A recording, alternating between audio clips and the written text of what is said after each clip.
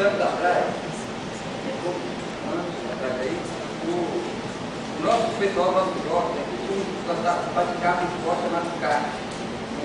Esse esporte que dava muita gente, eu, vejo na, na, na, BM fazendo segurança, eu nunca fiz. Está acontecendo.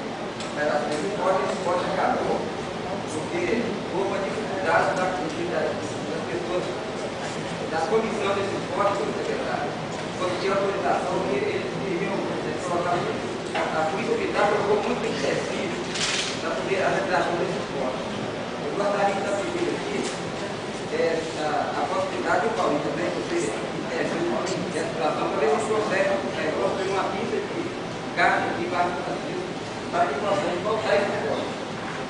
Então, se eu puder colocar aqui uma indicação para uma pista de carro, de, de carro, Obrigado.